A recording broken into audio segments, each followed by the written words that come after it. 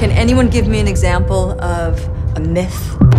I can feel it coming. Once Yeah, tonight. there were three bears Oh Lord. that lived in a dark and wet cave.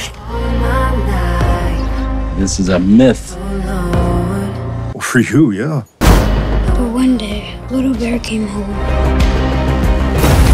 Lucas,